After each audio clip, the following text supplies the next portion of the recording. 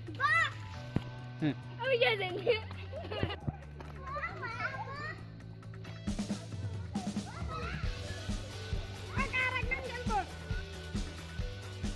এখানে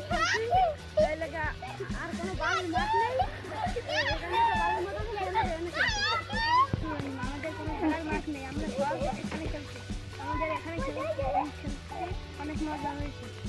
তাই আমাদের